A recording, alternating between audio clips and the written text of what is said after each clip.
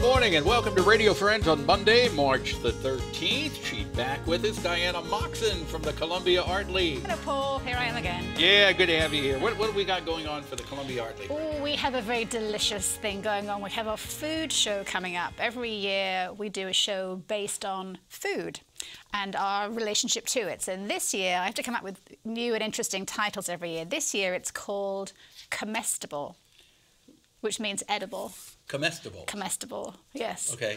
so that's the show title this year. So people can submit work or have submitted work about food, drink, anything we imbibe or eat, or our relationship with food or the food industry. So that opens on March the 14th with the Uh-huh. official opening reception on Friday the 17th. And you're going to have food at the opening we will have food from room 38 at the official opening on March the 17th.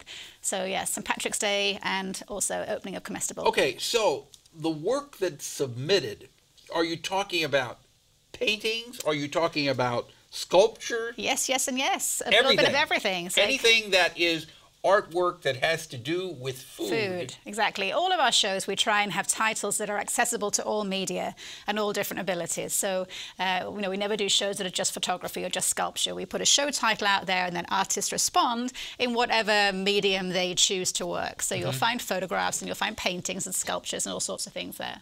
Uh, but it'll all have a food component. So how many uh, how many different entries or exhibits do you think you'll have? Well, we, we usually have uh, in the gallery, what we have space for is around 80 to 90. So it's always between 80 and 90 artworks that we have in, in shows at the Art League. But what's extra exciting about the Comestible show is it gives us a chance to do a fundraiser called Let Them Eat Art, which is coming up in April, on April the 13th, where we invite 10 local chefs to come in and choose an artwork in the exhibit as an inspiration for a dish of tapas, like bite-sized food. And then on the evening, the chefs come down and they're there in the gallery with their food and you buy a ticket. We only sell 100 tickets, we always sell out. And then you can go around and you can taste each of the foods and you can meet the chefs and you can see the artwork that inspired the food and it's a fun, Okay, so edible so evening. so the, this work that's on display, the Comestible. comestibles, it's on display. Then the chef comes and looks at one of the pieces of artwork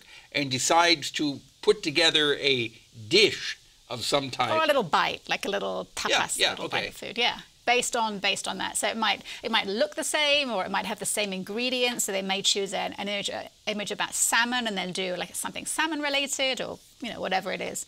Um, so it's always fun to come. So down. how and many eat- chefs will you have art. participate in this? Ten. 10 Mm-hmm. Okay. And we always work with the young chefs at the Columbia Area Career Center with Brooke Harlan. So we love having the young chefs come in too and, and do something Okay. for that. So that will be in April. That's in April. So, but the official opening is March the 17th And how long will the show run? through the beginning of May. Okay. It's got plenty of time to come and see it. So you got March and April Mm-hmm.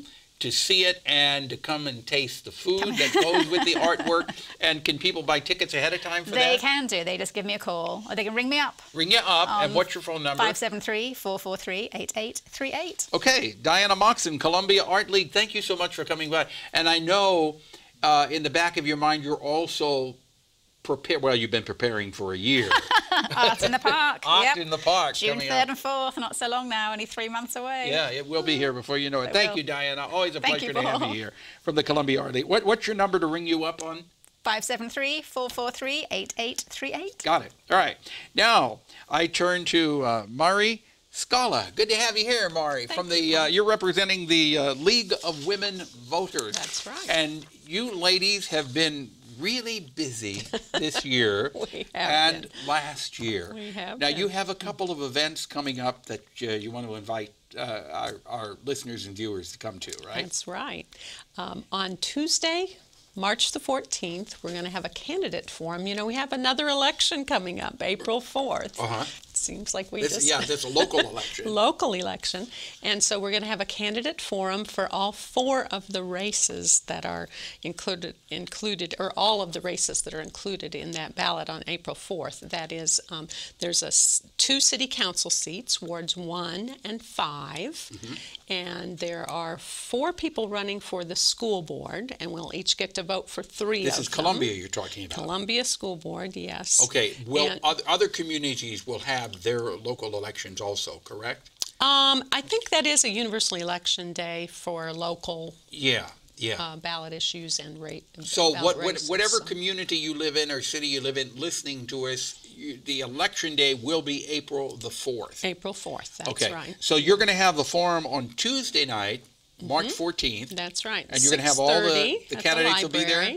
And we will have all the Columbia candidates Right, there. right. For school board, for the hospital board of trustees, and for the two city council races, the first Okay. and fifth wards. So um, we have a lot of decisions to make. It's at 6:30 with refreshments served before that at 6 o'clock. League of Women Well, Voters moved it up a famous half an hour, cookies. wasn't it usually we did. the well, Mm-hmm. refreshments are at 6:30 and the events at 7? you're absolutely right. It's a, starting a half hour earlier just simply because we have so many races and so many candidates to cover. And then what do you have on Wednesday? And then on Wednesday, March 15th, we're, we have a, we're offering a workshop to help people become more comfortable with communicating with their elected officials.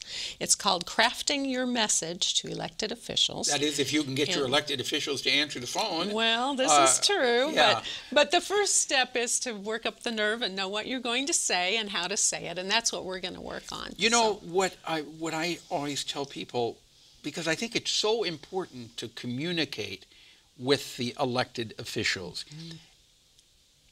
And I and people say, "Well, I, I'm concerned. Am I bothering them?" I say, "No, no, no. You're not bothering them. Remember, they're working for us. They are We are to. paying their salary with the taxes that we pay, That's and we exactly have a right. right to communicate with every one of them. That's exactly And they have an obligation to listen to us as to what we have to say.